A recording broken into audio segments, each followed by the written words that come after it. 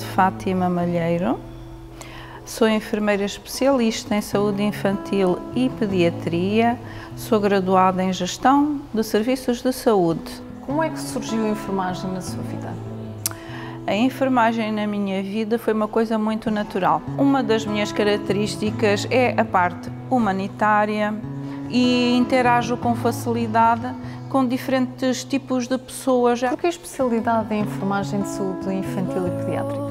Sim, a saúde infantil e pediátrica porque tenho uma grande ligação natural com as crianças. As crianças, para mim, é uh, alguma coisa de muito fascinante.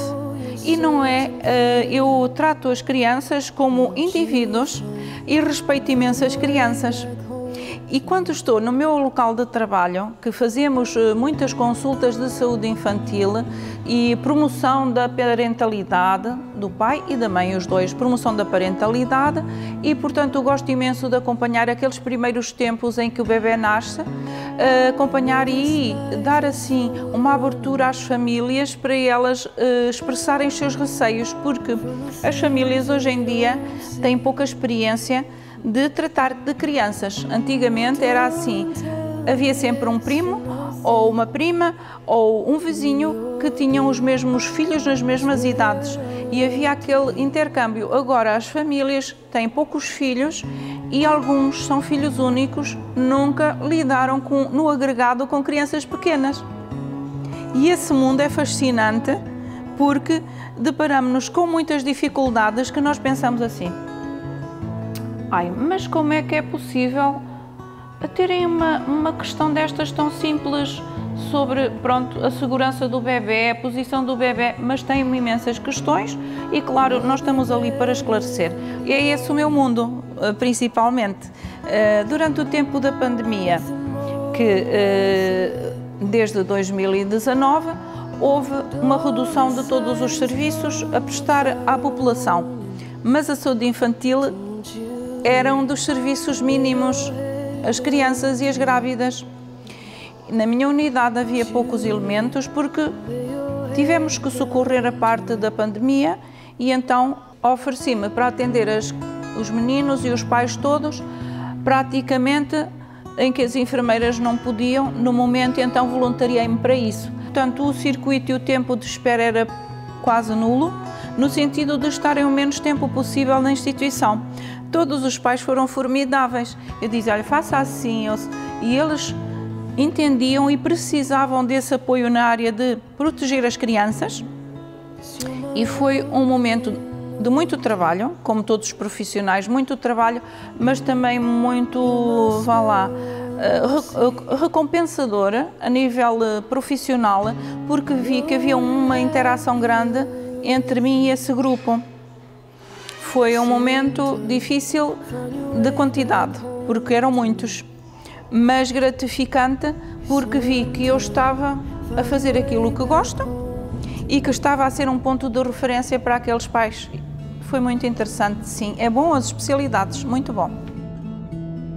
Sendo então a vacinação uma atividade tão estimada pelos enfermeiros e pelo Sim. feedback que tem tido, tem sido bem implementada e coordenada no terreno? A vacinação no terreno é assim.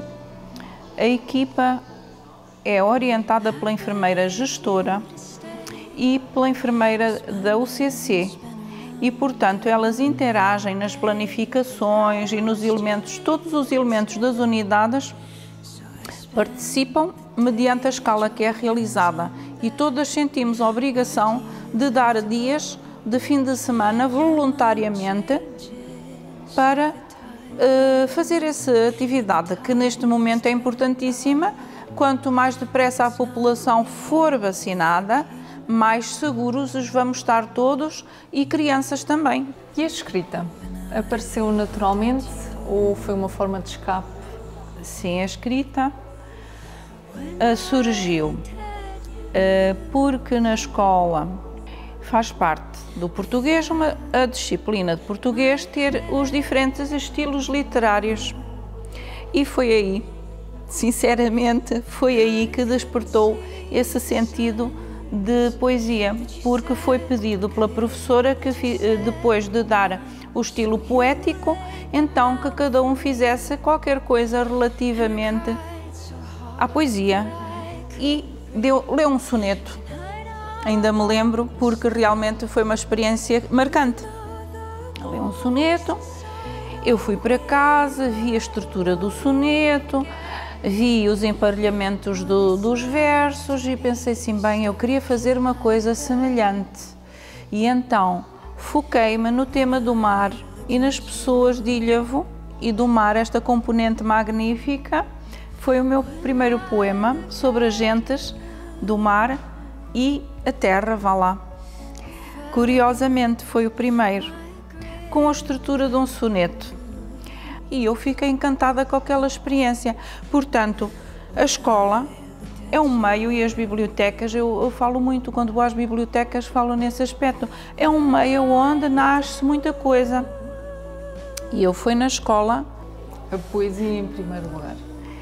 A poesia, agora, neste momento, está, não digo em primeiro lugar assim, mas está em destaque, vá lá. Está em destaque porque a profissão já são 30 anos de profissão e chegou o momento de fazer algo mais sem ser a profissão. A família, os filhos já são independentes, vá lá, maiores, e portanto o meu marido tem-me apoiado imenso nesta questão de escrever e eu depois dos 50 anos é que publiquei o meu primeiro livro. Uhum. Na sua obra, Se as Pedras Falassem, o Sim. que é que as pedras lhe disseram? O livro saiu em 2019, coincidiu com uma etapa da minha vida em que eu comecei a pesquisar muitas questões históricas de Portugal. Comecei-me a interessar tanto por essas questões históricas que eu passava horas a ler documentos, livros de história, questões relativas às famílias da zona da Beira Alta, associei que na aldeia de onde os meus pais são provenientes está lá, estava lá uma casa a cair e fui desafiada no mesmo período para reconstruir ou então a casa caía. Estas duas coisas juntaram-se e um projeto nasceu destas duas coisas: o livro de poesia Se as Pedras Falassem e a reconstrução de uma casa em ruínas que faz parte da história local. E eu quis fazer isso em homenagem ao nosso passado, aos nossos familiares próximos, à minha mãe. E, portanto, se as pedras falassem, eu conseguiria saber mais pormenores dali, da região.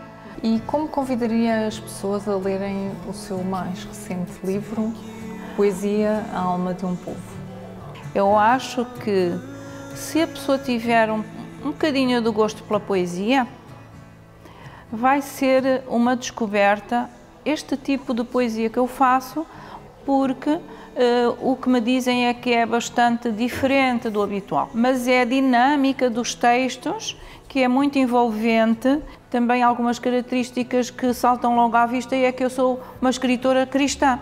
Uh, tudo isso junto é uma aventura, vá lá. Para mim foi uma aventura escrever, foram dois anos, que juntei 120 textos que tinham maior ligação entre si, tudo junto fez uma história muito bonita. E há uma sequência, uma cadência. E a cadência é para envolver Portugal, para envolver a história, para envolver os heróis da Beira porque isto é tipo uma memória e um elogio a um povo que foi um povo com características espetaculares, assim como os enfermeiros. Os enfermeiros têm que ter uma bondade inerente, quando não, não deviam de ir para a profissão. Poesia, a alma de um povo. O cantarolar das ondas do mar mistura-se com a brisa do vento, leva consigo pétalas de fogo. Nasce um raro aroma, em que o espírito do mar se funde com o perfume da terra suas marés em forma de gentes e levam até ao infinito a alma de um povo. Afirma ser defensora do valor da vida, da família e, tal como assinalou, do cristianismo, na sua forma mais primitiva. O que é que isto representa para si? É assim, eh, na forma mais primitiva, eu suponho que se a pessoa não tiver acessos a livros, como é que ela encontra Deus? Às vezes é através da natureza. E muita gente acredita e diz: acredito que existe uma força superior a nós. Isso é comum a quase todas as pessoas que nós contactamos. Acredito numa. Olha, pois eu também. E então, eu acredito e uh, é assim. Isso ajuda-me imenso a estruturar a minha forma de estar e de pensar e a minha atitude no dia a dia, uh, porque nós ouvimos muitas coisas que nos podem pôr para baixo e nós eu consigo mais manter a minha serenidade graças a esse fator do cristianismo, porque leio a Bíblia. Para mim, a Bíblia é o livro mais importante de todos, mesmo que se calhar não fosse cristã. Para mim, é o livro mais fascinante pelos conteúdos diversos, pela natureza de que foram vários autores a escrever e nenhum se contradiz uns aos outros. É fantástico e, portanto, só isso é uma prova da existência eh, que existe alguém superior a nós. E, portanto, eu tenho um respeito muito grande uh, quando se fala não de religião, mas que se fala de Deus, na sua forma primitiva do cristianismo, em que é basicamente a figura de Jesus Cristo, a centralidade do cristão. E, portanto, a morte é uma situação uh, que se uh, vem, uh, uma sequência natural de, do ser humano. O cristão, reconhecendo na figura de Jesus Cristo como Salvador pessoal, e é isso que eu acreditei, foi nesse processo que eu passei. Esse processo em que acreditei na palavra de Deus, na Bíblia Sagrada, em que fala precisamente isso, que Ele é o caminho, a verdade e a vida. E quem vier a mim de maneira nenhuma será lançado fora. E foi por aí que eu fui pesquisando a Bíblia e aquilo começou a entrar no meu interior e eu comecei a perceber aquelas palavras e foi uma dinâmica crescente. E não foi para me pôr para baixo, foi ao contrário. Foi construtiva do meu eu, de uma outra forma, e, portanto, isso fez-me também acreditar na na outra dimensão da vida que que é uh, a vida que se compõe da parte espiritual e material, fez-me acreditar nisso. O cristianismo é fundamental para as pessoas encontrarem paz e tranquilidade no dia a dia. Ao cuidar dos outros como enfermeira, acredita estar a seguir esta sua visão de respeito pelo ser humano e pela vida? Sim, eu procuro sempre ter isso em conta, o respeito pela vida, principalmente, que hum, é uma dádiva. A vida é uma dádiva, é uma dádiva tão grande que só se vive uma vez também. Eu desafio as pessoas, que, hum, os jovens principalmente, a terem uma atitude de vida, um, praticarem desporto, porque o, o desporto ajuda a desenvolver fisicamente e intelectualmente uh, o respeito pela vida. Tento sempre incutir no, nas outras pessoas que uh, há uma fragilidade do nosso organismo com a idade, há um, uma propiciação para doenças e tem que prevenir. E eu, quando faço isso, estou a respeitar a vida do outro. Estou-lhe a dizer antecipadamente, faço uma educação que a pessoa possa captar os problemas que pode prevenir. Depois de um ano tão duro e cujos efeitos ainda se fazem sentir, considera que o fim da Covid-19 está para breve? Depende do comportamento social, basicamente, porque os profissionais de saúde estamos a dar os 200% para que isso se concretize, que as pessoas fiquem vacinadas o fim da pandemia, nos países já se começou a vislumbrar que eh, já não é necessário usar máscara. Devemos de nos acautelar e não esbanjar recursos também, no sentido de estamos a dar vacinas, é um grande investimento, mas o comportamento das pessoas é fundamental.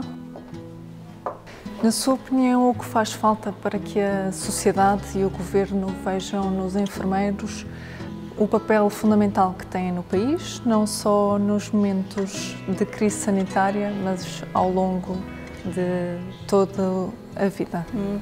Essa questão é muito interessante porque o Estado português tem uma atitude que não considero que seja adequada para eh, a nossa postura profissional. A nossa postura profissional tem sido de estar presentes nas pandemias e sem ser nas pandemias. E os profissionais de saúde e os enfermeiros custam muito a formar. Se nós temos uma característica que é uma formação académica muito boa, que é aceita nos outros países, tomaram eles ter enfermeiros portuguesas, são muito bem aceitas e, portanto, eles eh, facilmente se integram noutros mundos de, e noutros países. Aqui em Portugal deveríamos ser mais respeitados pela nossa formação académica, pelas nossas graduações, pelas nossas especialidades e a Ordem dos Enfermeiros tem feito um papel fundamental e eu, por isso eu admiro muito a vossa postura sempre que há necessidade de representar a profissão e os profissionais. Concordo com quem está e a atitude defensiva dos profissionais, porque nem sempre acontece isso. Quando há uma adversidade, fica a saber quem é que foi o culpado. E não tem sido essa atitude. Quando há qualquer coisa, então é defesa dos profissionais em primeiro e depois, então, a negociação com o Estado da carreira.